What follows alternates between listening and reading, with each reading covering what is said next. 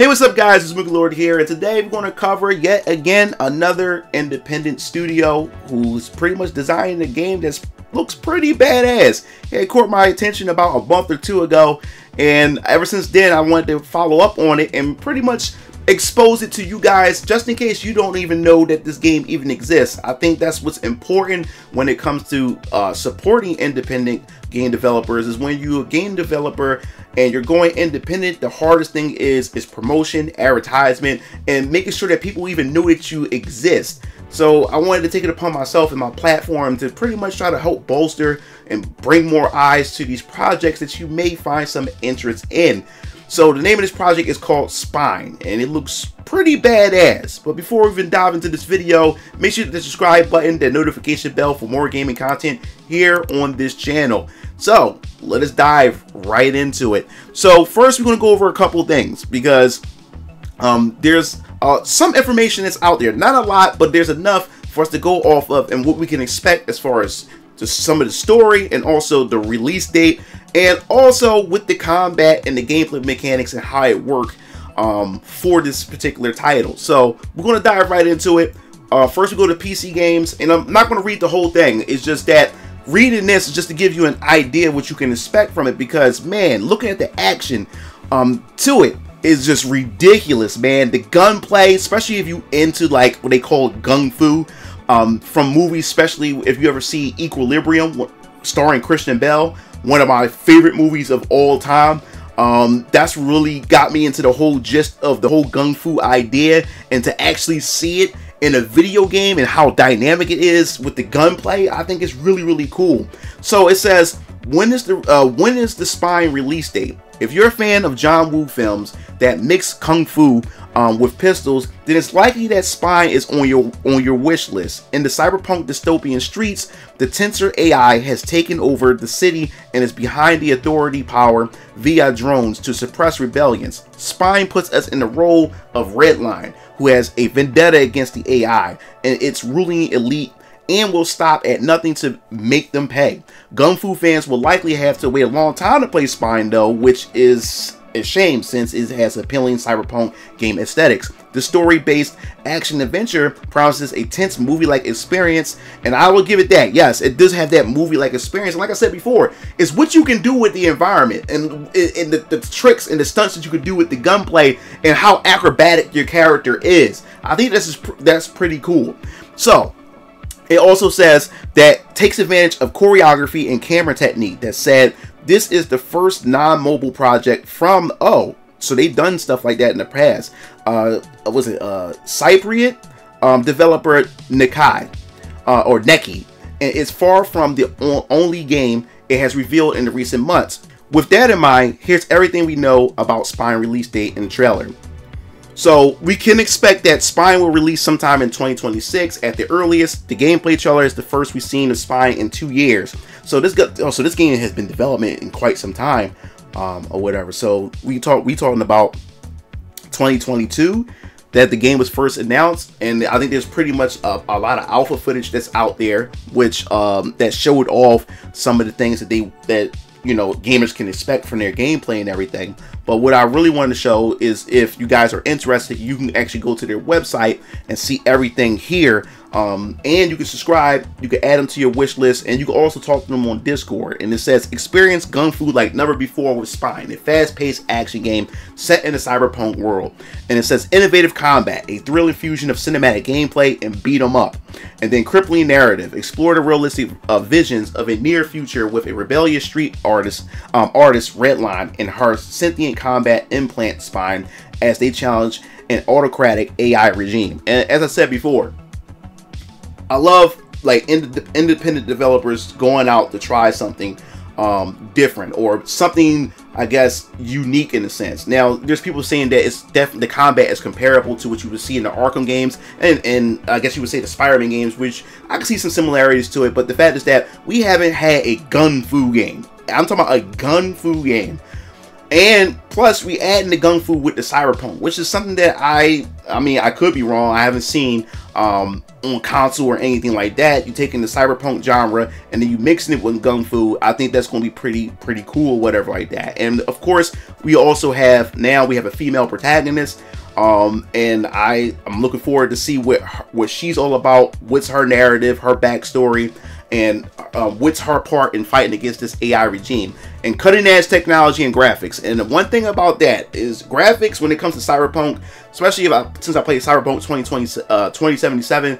Oh my god, the graphics to that game is fucking beautiful. So I don't expect anything less from what I've seen so far. When I've seen some from some of the gameplay footage and the trailers and some of the things that have been posted from um, the, the Twitter page itself, the graphics is looking pretty good for it to be early on. So I can only imagine what it's going to look like um, once it's finished. And what really got me is an expansive franchise. So it looks like they're trying to really, really take this serious. And what I mean by expansive franchise, you can dive into the Spine universe beyond the games with an array of um, coming content, games, DLC, webcomics, board games, and merchandise. So apparently they're really trying to take this serious. And I like to see when there's other ways to flesh out the lore, flesh out the IP because not everybody likes to play games or not everybody wants to play games. Some people are readers, so people be able to read to be able to get into the universe. Some people do like to play board games and when, and that's their way of be able to have some part uh, way to partake in the universe itself. So to me, seeing that this is going to have some expansive mediums or medias, it shows that these guys really want to go in with this. So me being an independent uh, comic book company myself, I'm definitely would like to look into this um, comic that you know these guys are going to pretty much essentially work on or have as a web comic to just look at it and stuff like that and read it um, to pretty much delve into the universe that they're trying to establish here. But the most important thing that I really wanted to show is that they recently have a question and answer, so we get a bit of insight and knowledge of what we can expect from Spine itself these these people are motivated, and I believe that this company, um, Nekki, is a Russian company. I could be wrong. Put in the comment section below um, to let me know. So yeah, it seems like these these guys are definitely uh, want to really really uh, make sure that people understand what this game is and what they can expect from it when they get their hands on it and experience it for themselves. Said, but we selected the hottest ones and addressed them to spine producer was it Dmitry um, Pimenov? I hope I said it right. I never get these rights. Um, so the first question says, can we expect um, Redline voice lines, or is she a silent protagonist? And that's what I definitely wanted to, wanted to know too. Um, as I seen the trailer and stuff like that, I'd seen more of her in action than than more so um, interacting and stuff. So this is a good question. Um, absolutely. Since we initially agreed to treat our action game as a real blockbuster movie, makes sense. The voice acting for the main character holds immense importance for us. Currently, we're uh, actively casting an actress for the role. So if you're a voice actor and everything, uh, definitely check them out if you try if you are interested in getting into some voice work on a video game. So if if you're interested in that stuff, definitely go go talk to them.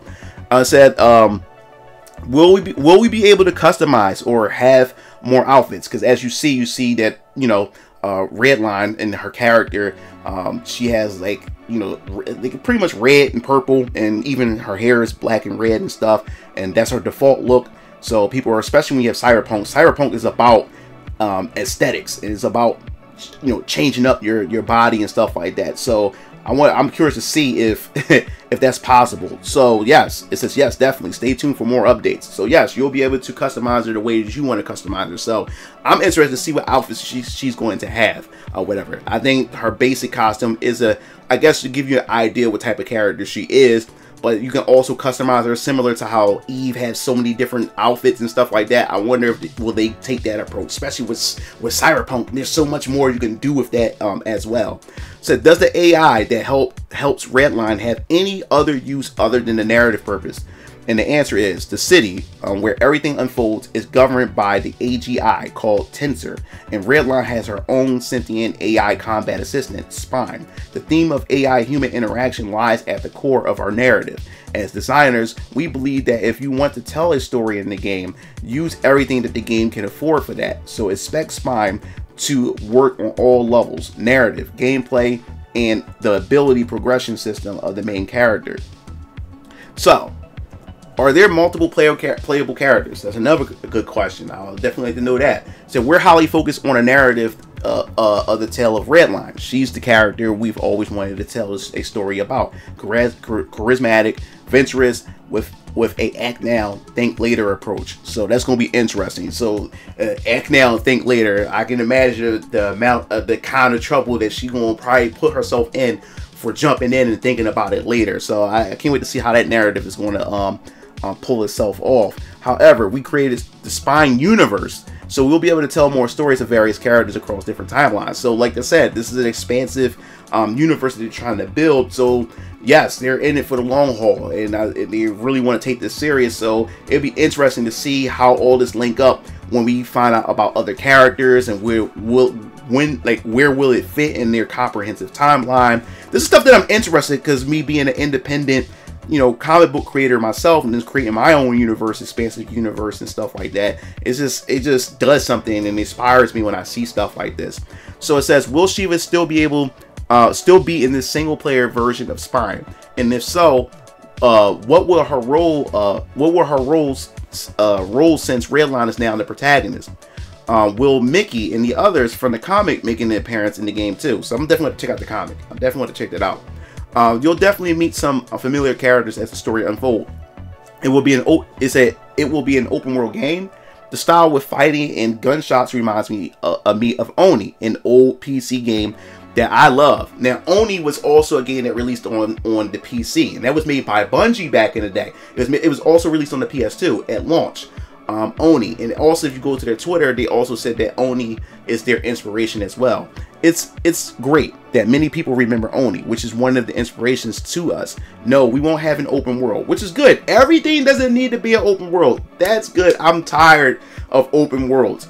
I think open worlds, when done right, they can be fine. But when you have open worlds, man, you always have these like these lifeless worlds, and you, you then you you cram and you pack it with so much filler content and everything and then it, it strays away and it creates this bad pacing when it comes from side content and the main story plot. So yes i would love a more semi-open linear like linear experience. I'm fine with that. I just, let me play the game and just do it that way. I think it's that's perfectly fine.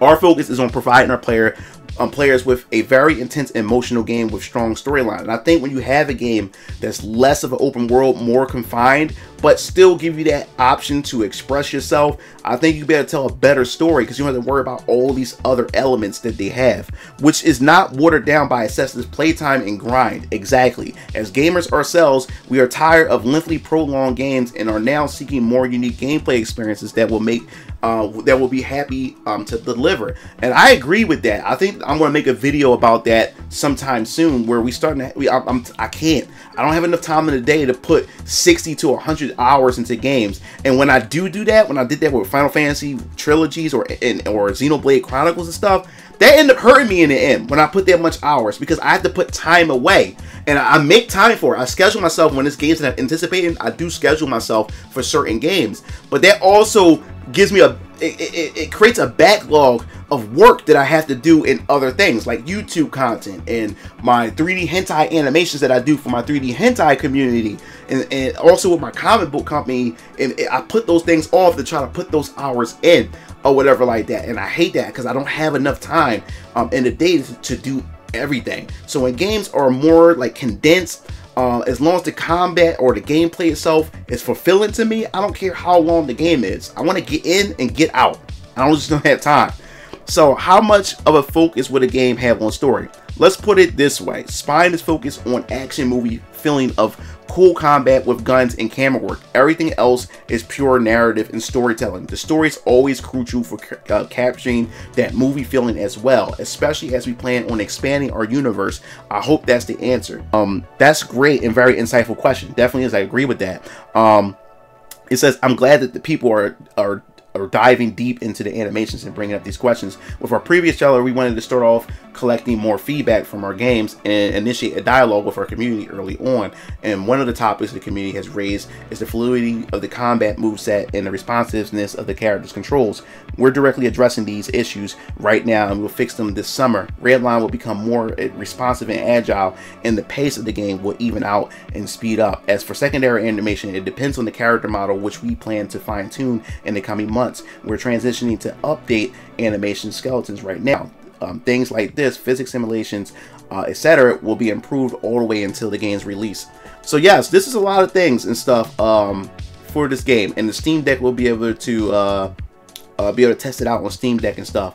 So this is essentially Spine. This is another independent game that um, looks really, really promising. It's from, like I said, Nekki, I believe is a Russian studio. I think they've done a good job from what we've seen for this for this to be early on. I think this is very impressive, and I can't wait to see um, more of the gunfu um, gameplay that they have here, especially in the cyberpunk, which we don't really get have enough of that um, going on here in this. Um, and you know, as far as the genre, as far as the games is concerned, some cyberpunk, more of that. I'm definitely definitely sign me up for that. But this is a perfect example, and I keep saying this right now is a perfect time for independent developers to shine the most. I said it before in my live stream. If you missed it, you can check out my live stream where I talk to you guys about the fact that uh, we have the problems with Microsoft. We have the problems what's going on with Sony and how they're handling everything um, in-house and with PlayStation Network and against the PC gamers and stuff. But more importantly, when you see Square Enix and Square Enix talking about they're going to start cutting back on projects and it's going to take a have longer windows of wait time for their AAA games. And a lot of studios are doing this. EA, everybody, you want to start seeing a, a big window of emptiness because the the industry is is, is is inflated as far as budgets are concerned and everything and they have to learn how to they right now they're trying to figure out how to reduce and cut costs so while we have this big drought here or whatever. It's time for independent developers to now step in, and it's their time to shine to be able to fill in those gaps. And what better time to be an independent developer is right now. So if you guys are looking to be independent yourselves, the perfect time is right now. And like I said, perfect example of Icode. Uh, Icode. Icode is made by one person. One person one person is working on this. One female developer decided to say, hey, I I've been inspired by these other games, and I want to be able to tell my own story and and, and pay homage to the to the to the series or these games that inspired me to, to make this game. And she's done a good job. So there's no excuse. If one person can do it, and this person didn't go to college to learn any of this stuff, they learned on their free time. And I want to leave this message to you guys before I close out. It's all about what you do with your free time. Your free time is more important than anything. Do you gonna spend your free time binge watching anime all day and, and, and play video games all day? Or or doing everything that's not going to uh, get you any closer to whatever goals that you have or whatever ambitions that you have. It's all about your free time. You got to utilize your free time as much as possible. Instead of playing video games all day, you need to be taking whatever your passion is and you need to work and fine tune it during these free times. You have to maximize it. Maximize your free time. This is the message that I want to lay to you guys. And that's why I've been practicing more and more, which is why I've been working on my Venus Orion comics even more and more. And my comic, my first comic book within my expansive universe will be completed this month. I'm super happy um, for that. And I'm in the process of getting my presentations ready for the launch campaign starting around September or October of when the launch campaign will be ready for you guys to be able to see what my world is world has to offer as far as Venus Orion Comics is concerned. But you can also expect the teaser that's going to prepare you guys um, for the launch as well um, this summer. So going independent to me is the best time, and you should really consider it. So that pretty much wraps up this video. If you like this video, hit the like button, subscribe button for more gaming content here on this channel. This is Mugen Lord, signing off. I'll see you game fiends later. Peace out.